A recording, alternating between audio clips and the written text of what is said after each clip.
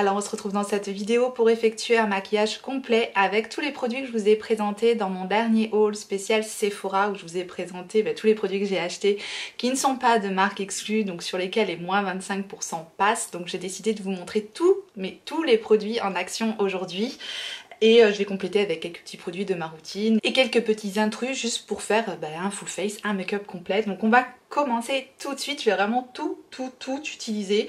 On n'est pas là pour se faire un make-up de dingue, on est juste là pour voir vraiment le rendu sur la peau et c'est ce qu'on va faire tout de suite. Donc les premiers produits, si vous n'aviez pas vu euh, la vidéo haul et que vous voulez voir tous les produits, les prix, etc., etc., je vous remets tout ça dans le petit i, juste ici, vous avez qu'à cliquer sur le i, vous aurez la vidéo haul.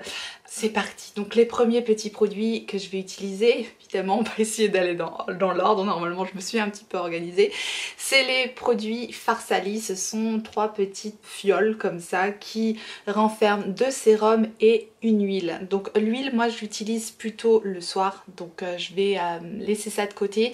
Bien sûr tous les produits qu'on va utiliser là ça va être un peu une première impression. Je viens juste de les avoir. On va avoir notre première impression ensemble.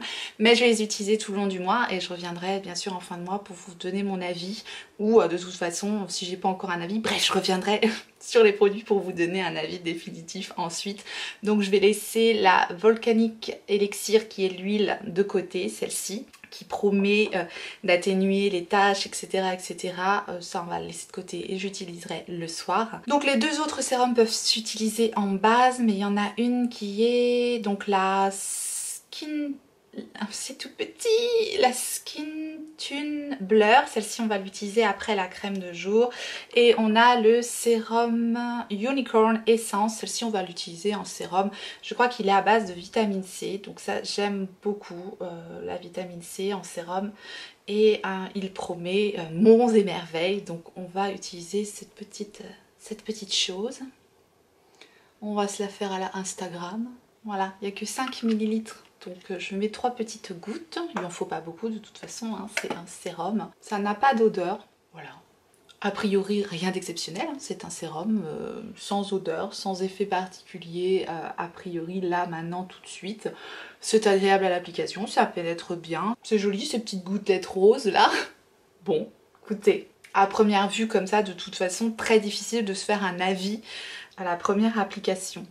J'ai rien de négatif en particulier à dire sur ce sérum là à première vue. On va mettre euh, ma petite crème euh, qui me sert de base, crème hydratante qui est dans ma rotation de Urban Decay, la Hot Spring Hydrating Gel. J'applique ça rapidement et puis après on va euh, mettre le sérum qui sert de base blur donc qui dit qui comble qui comble les pores etc etc donc je vais l'utiliser vraiment en base juste avant le make-up voilà, le temps que la petite crème Urban Decay euh, pénètre bien dans la peau, je vous parle de mes ongles parce que j'ai mis aujourd'hui pour vous montrer l'effet de ce superbe vernis à ongles. Bah, c'est le vernis Dior, hein, je l'ai mis, je vous ai dit je vais tout utiliser dans la vidéo pour je ne vous ai pas montré l'application mais au moins vous voyez le résultat c'est hyper lumineux, c'est très joli comme couleur, j'aime beaucoup cette couleur orange. J'ai mis les petites boucles d'oreilles assorties donc ça va nickel. Non c'est vraiment le genre de couleur que j'aime énormément euh, porter en été, je trouve ça très lumineux, très beau. Voilà quand on est un peu bronzé comme ça, ça ressort tout de suite. Voilà le vernis, c'est la teinte Go 230. Ce que je peux vous dire par rapport, je peux vous parler que de l'application pour le moment. Ce qui est un petit peu risqué sur ce genre de teinte, c'est de tomber sur des vernis qui vont pas être assez opaques où il va falloir mettre quatre couches pour avoir une belle opacité ou alors qui vont pas se mettre de façon euh, bien homogène.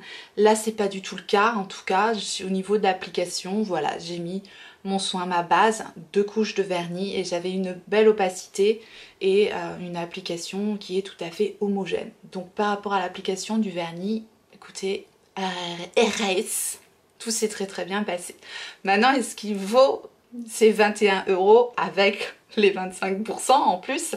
Euh, voilà, je vous dirai ça par rapport à la tenue du vernis, à mon ressenti, je vous en reparlerai de toute façon. Voilà, on va maintenant mettre bah, le fameux sérum qui sert vraiment de base, blur, qui dit pouvoir euh, avoir un, un aspect floutant sur la peau et compleur de pores. Écoutez, on va voir ça. Le Skin Tune Blur. On va voir. Ah, mais alors les pipettes qui prélèvent pas le truc, ça me saoule ça. C'est pas pratique, je trouve. Non, ça... Ou c'est moi qui sais pas me servir d'une pipette, c'est pas possible. Trois heures plus tard. Bref, je vais finir par pas me servir des pipettes parce que j'y arrive pas. Ça prélève pas le produit, ça me saoule. Bon, je vais euh, mettre juste ça parce que il y a tellement peu de produits. Ça sent bon, j'aime bien. Donc je vais le mettre particulièrement au niveau de ma zone T. Bon, on peut dire que c'est plutôt agréable à appliquer. C'est plutôt doux, donc c'est plutôt pas mal. J'aime bien le, Autant le petit sérum juste avant, je ne pouvais pas vous dire que ça avait vraiment d'effet sur la peau. Là, ça donne un aspect vraiment tout tout tout doux. Donc j'aime bien l'aspect tout doux que ça donne à la peau. Et c'est plutôt agréable et ça pénètre quand même bien. Donc ça laisse pas l'aspect collant, visqueux, bizarre. C'est très agréable à appliquer. Donc euh, ouais, j'aime bien. Je pense que ça a un effet un petit peu matifiant aussi. Donc matifiant, comblant, lissant. Bon, lissant, c'est pas flagrant. On va voir. Le prochain produit que je vais tester, c'est le Forever Summer Skin de Dior qui se présente comme ceci. J'ai la teinte médium puisque comme vous pouvez le remarquer, j'ai pris des couleurs. Je me suis dit que light allait être trop clair donc je vais tester la teinte médium en espérant que ça aille. Donc ça se présente comme ça sous forme de petite fiole en plastique, il n'y a rien d'exceptionnel hein, au niveau du conditionnement du produit. Je vais l'appliquer au pinceau, je vais faire juste une moitié de visage pour qu'on puisse voir euh, bah, le résultat tout simplement par rapport à avec euh, et sans. Je prends un pinceau fond de teint, là c'est un pinceau You Are Cosmetic, pinceau fond de teint tout simplement de You Are Cosmetic. Je prends un petit peu de matière comme ça et je vais l'appliquer. J'avais peur que ce soit trop foncé mais a priori c'est quand même un peu orange au niveau de la teinte. Hein. Donc je vais l'appliquer sur la moitié de mon visage. Donc j'en mets partout, au niveau du cerne, au niveau de l'œil. Je vais vraiment faire un teint bien unifié. Vraiment ce genre de produit que je voulais vraiment pour uniformiser le teint. C'est hyper fin. Ça se fond complètement dans le teint. Je vais descendre dans le, cou du coup pour qu'il n'y ait pas du tout de démarcation. Voilà, bon, écoutez la teinte, c'est pas du tout catastrophique. Hein. C'est un Franchement, une fois que c'est bien travaillé, une fois que c'est bien fondu, ça se fond complètement dans la peau. C'est ce que j'adore dans le produit, c'est vraiment que c'est complètement imperceptible. Et ça a vraiment juste euh, unifié le, teint, je trouve. Il n'y a aucun effet de matière, ça se fond complètement dans le, dans le teint. Donc ça n'a pas de, je trouve que ça n'a pas de couvrance particulière. Donc si vous cherchez quelque chose pour couvrir des imperfections ou quoi que ce soit, c'est pas le cas. C'est vraiment pour unifier le teint. Donc là, ce que je vais vraiment reprocher à ce produit, c'est son manque de teinte je trouve que ça s'est quand même bien, bien fondu avec ma teinte euh, de base. Donc euh, voilà. Mais je trouve qu'il n'y a vraiment pas beaucoup de teintes. Je crois qu'il n'y en a que 4. Euh, là, vu comme j'ai bronzé, la teinte light aurait été trop claire. Je pense que voilà, c'est pas trop c'est pas trop catastrophique au niveau de la teinte. Donc j'aime bien le rendu à l'application du produit et je vais faire l'autre côté. Me voilà avec un teint bronzé, unifié. On dirait que je reviens de vacances. Mais c'était un peu ça. Hein. Mais je trouve l'application très bien. C'est c'est imperceptible et ça a juste unifié mon teint comme il faut donc c'est parfait. Je vais juste rajouter un petit coup de correcteur euh, anti-cerne, c'est un anti-cerne correcteur super naturel de Kevin Aucoin. J'avais pas pu le tester parce que la teinte était trop foncée à, l'époque, mais là je crois que la teinte va être trop claire maintenant parce que là j'ai pris des couleurs de dingue. Et euh, bon, c'est pas grave, je vais quand même le tester. Vous voyez la teinte euh, finalement, ça va être, ça va être hyper, hyper, hyper clair. On va pas en mettre euh, trop. je vais juste faire une petite correction. Voilà, ça c'est un petit intrus qui s'est glissé dans la vidéo parce que, parce que j'ai pas acheté d'anti-cerne là pendant les promos Sephora. Donc euh, ouais, c'est hyper clair, mais c'est pas... Je vais faire juste vraiment euh, des petites touches. De toute façon, euh, je mets vraiment, hop, sur mes petites imperfections. Tac, tac, tac. Je vais fondre ça avec mon éponge. On va quand même se rendre compte de la couvrance de, de l'anti-cerne. Mais je vais vraiment, vraiment, vraiment bien, bien, bien le fondre dans le teint pour que ça fasse pas de, de taches blanches, quoi. Que je ressemble pas à un panda. Même si je trouve ça joli, les pandas, c'est pas ça qu'on veut. Voilà, je mets vraiment qu'au niveau, du, sillon. Euh, je cherche pas à avoir un teint euh, recouvert de produits, je veux quelque chose de naturel, donc voilà. A priori, l'anti-cerne est plutôt pas mal, il fait pas du tout d'effet de matière, il est assez fin. Bon là du coup la couleur Elle est un tout petit peu trop claire, mais euh, bon, c'est pas grave. C'est venu apporter euh, un, peu de, lumière sous l'œil. Ça s'est bien, fondu à la peau, c'est ce que j'aime. Il est totalement imperceptible. Moi, quand vient l'été, j'ai besoin de produits qui sont totalement imperceptibles. J'aime pas avoir de matière sur le, sur le visage, mais j'aime bien quand même pouvoir cacher un petit peu euh, les cernes, les petites imperfections. Donc franchement, c'est plutôt pas mal. Je reviendrai de toute façon, je vous parlerai j'ai besoin de plus le tester cet anti-cerne là donc je vous en reparlerai. C'était pas tout à fait le, thème de la vidéo. Là on est plus sur les produits bah, Sephora mais bon je voulais quand même euh, corriger les cernes. C'est chose faite. Maintenant on va utiliser des produits alors que je connais pas du tout et que je n'ai jamais utilisé ce type de produit. C'est le Titoutan de By Terry qui se présente comme ceci. Donc je vais l'utiliser en bronzer. Euh, il y a euh, le fond qui est avec des petites euh, shimmers nacrées en fait et le haut qui reste mat. Donc si on veut l'utiliser de manière un peu lumineuse, il faut secouer. Alors secouons parce que ben, je veux quelque chose de lumineux. Hein. On va se faire un make-up lumineux aujourd'hui. Donc je le secoue. Alors je trouve le conditionnement quand même pas idéal. C'est pas idéal du tout. Donc j'ai pris un capuchon de, crème. Je vais mettre un petit peu de produit euh, dans, le, dans mon capuchon. Je vais euh, faire un côté à l'éponge et un côté au stippling brush. Alors le stippling brush c'est un pinceau du haut fibre comme ça. Voilà avec des fibres plus denses à la base et des fibres plus espacées en fait en haut du, pinceau. Et avec ce genre de pinceau là, vous pouvez appliquer des produits liquides, des produits crème, ça va, euh, voilà, en général c'est avec ce type de pinceau qu'on applique euh, bien les produits crème ou les produits liquides. Mais je vais quand même essayer aussi avec euh, bon, bah, la partie propre du Beauty Blender de, bah, de faire un, genre de bronzer avec ce produit là. On va voir ce que ça donne. Attention, on vit dangereusement. Alors, effectivement, c'est absolument comme de l'eau. C'est très étrange. Ok, je vais faire un genre de, de, ouais, de bronzer avec ce produit, on va voir ce que ça donne. J'ai vraiment pas l'habitude, hein. mais c'est frais, c'est agréable. Bon, on va essayer avec le, stippling euh, brush là. on va essayer au pinceau, on va faire l'autre côté au pinceau. Écoutez, on va voir ce que ça donne. On va.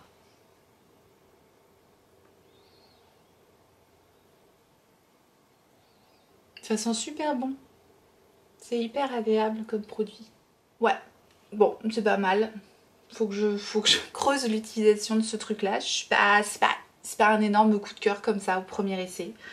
C'est joli, c'est frais, ça sent bon. Je vais voir comment ça, comment ça tient sur, euh, mon visage. Oui, ça fait un genre de, contour, mais euh, au premier euh, jet, au premier essai, je suis pas hyper méga transcendée par le truc. C'est imperceptible, hyper fin. Donc ça pour le coup ça se voit pas du tout qu'on a mis euh, quelque chose sur le, visage. Je pense que je dois peut-être m'habituer un petit peu euh, à ce produit liquide. Euh, surtout ne pas votre teint avant de mettre ce produit là, sinon ça va être une catastrophe. Le côté positif c'est que c'est imperceptible, c'est hyper fin, c'est très naturel, ça sent bon. Ça s'applique plutôt bien mais le conditionnement est vraiment pas pratique. Il faut que je creuse un petit peu l'utilisation de ce produit là. Et puis bah, de toute façon je manquerai pas de vous en reparler. Dites-moi si vous avez ce produit, si vous l'aimez, comment vous l'utilisez, est-ce que vous l'utilisez sur tout le visage. Ensuite, alors euh, un intrus un spoil de mon prochain haul. Je vous avais dit que j'attendais des produits by Terry et il en fait partie. Ben, c'est le blush by Terry, le Brightening CC Blush. Et alors là, c'est pas de ma faute. Donc c'est la teinte Rosy Flash. C'est pas de ma faute, c'est vous qui m'avez dit ce blush est merveilleux, ce blush est merveilleux. Donc c'est votre faute, voilà. Pour une fois, on inverse les rôles. Vous me dites souvent, euh, vous allez craquer à cause de moi, mais euh, voilà, tout le monde m'a dit c'est génial ce produit là est top. Donc bah, j'ai craqué euh, j'ai pris ce petit blush euh, liquide. Je vais en mettre un petit peu sur ma main. C'est vraiment la première fois que je l'utilise. J'ai reçu aujourd'hui. C'est l'intrus. Je me suis dit je vais l'inclure dans la vidéo. J'avais trop hâte de le tester. Mais euh, j'ai l'impression que lui il veut pas venir par contre. Il veut pas venir avec moi. Trois heures plus tard je vais l'appliquer tout simplement à l'éponge. C'est parti Waouh Ok, j'adore. Ah ouais, j'adore. Qu'est-ce que c'est joli. Ah ouais. Ouais, Autant le Titoutane, j'étais pas complètement, euh, complètement bluffée, mais là le, là, le blush, j'adore. Je le trouve hyper beau. Vraiment très très joli. Hmm. Vous aviez raison. Il est très beau. Ça, c'est adopté direct. J'aime beaucoup le rendu. Hyper facile d'application. J'aime beaucoup. Maintenant, alors un produit J'en attends beaucoup parce qu'il est vraiment pas donné. Euh, c'est le Face Glow Cream Shimmer de Natasha Denona. J'ai pris en teinte light.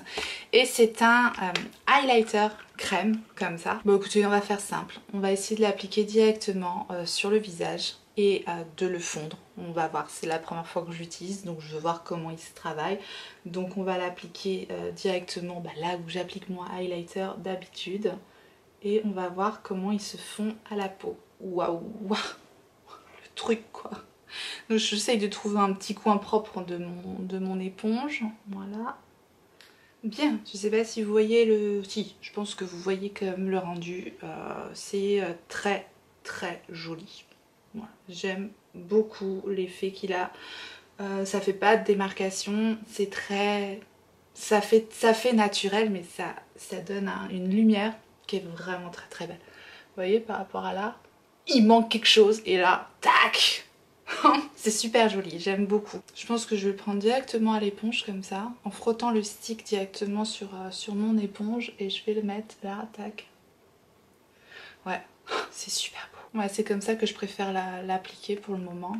C'est hyper joli. Si vous aimez la lumière qui ressort de l'intérieur, qui fait pas du tout d'effet de matière, tout à fait différent d'une poudre, mais c'est ça fait pas démarcation, en fait ça se fond dans le teint et c'est ouais j'aime beaucoup le rendu donc euh, franchement je suis contente. Je ne manquerai pas de vous en reparler aussi de celui-là parce que il quand même pas donné hein, mais c'est pas mal. Bon on continue. Je vais juste poudrer un tout petit peu ma zone T euh, avec ma poudre Too Faced parce que je l'ai mise dans ma rotation. Voilà, très légèrement parce que je veux garder en fait, je veux garder l'aspect lumineux euh, glowy du teint. Je prends un petit pinceau Morphe, c'était Morphe, Morphe tout court. Hop, je mets un petit peu de poudre juste au niveau, voilà, des ailes du nez, sur le nez, sur le menton et au niveau du front mais très légèrement, vraiment très légèrement. C'est un voile de poudre. Bien, voilà, la poudre est appliquée. Maintenant, je vais tester le petit produit de chez Dior. C'est le bronzer que j'ai pris de la nouvelle collection qui est sortie, là, sûrement en édition limitée pour cet été. C'est ce bronzer-là.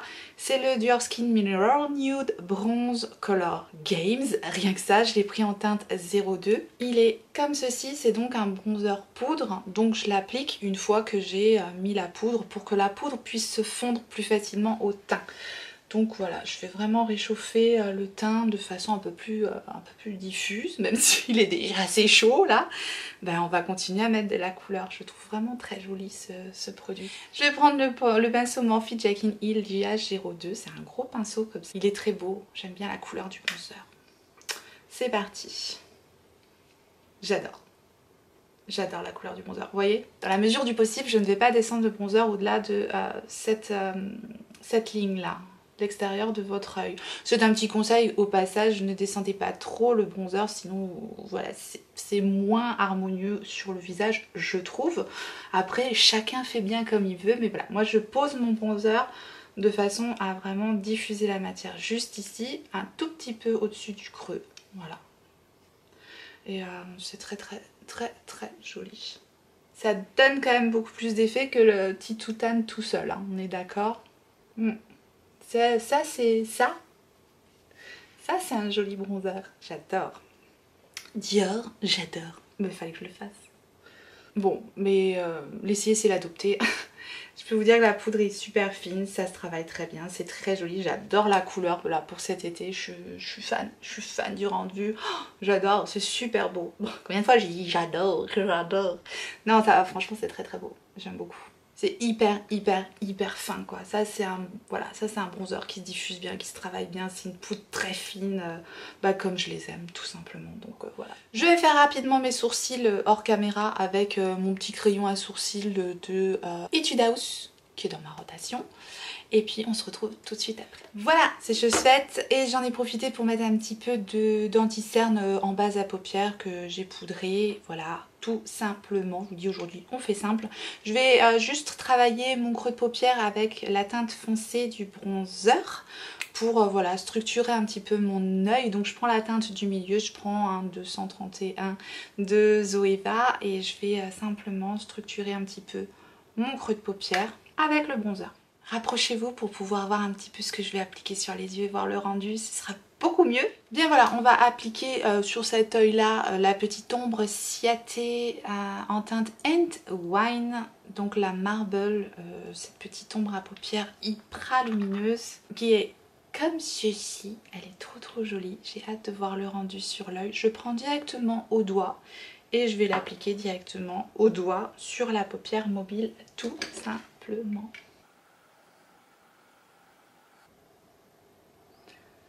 Je pense qu'on est d'accord pour dire que le rendu est hyper lumineux. C'est très très joli, c'est vraiment super lumineux. Je vais juste euh, estomper les bords avec euh, mon petit pinceau qui m'a servi euh, à mettre le bronzer. Voilà, c'est comme dit ce genre d'ombre à paupières qui se suffit à elle-même. Ah, c'est vraiment très très beau.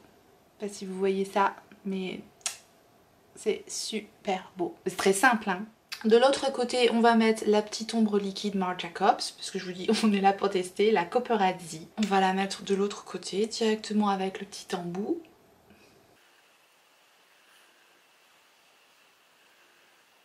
Voilà, c'est canon. Bon ça fait bizarre hein, mais c'est canon. Et euh, pareil je prends mon petit pinceau euh, avec lequel j'ai appliqué mon bronzer et je vais simplement estomper les bords. C'est très fin, c'est vraiment très fin sur la paupière. On va appliquer le crayon Marc Jacobs euh, que j'ai en teinte violette femme. Et je vais l'appliquer en muqueuse inférieure et un petit peu en rat-cils inférieur. Je sais pas si on se rendra bien compte, c'est très beau. Je vais l'estomper toujours avec mon même pinceau. Voilà, un petit violet pastel comme ça en ras de très simple, juste avec un crayon, on estompe et terminé, c'est réglé quoi. Des fois, il euh, n'y a vraiment pas besoin de grand chose quoi. J'aime beaucoup la couleur du crayon, vraiment j'aime beaucoup. C'est lumineux, ça donne un... Non, j'aime bien. Vraiment, bon, bah, de toute façon, c'est les crayons Marc ça, n'est-ce pas? Vous savez, maintenant. Et je vais en profiter bah, pour mettre euh, son liner, euh, le liner de Marc Jacobs que j'ai en teinte, c'est le eyeliner liquide gel que j'ai en teinte euh, Back to the Fuchsia. Voilà comment est la pointe et je vais donc faire un liner fuchsia de ce côté-ci. J'adore.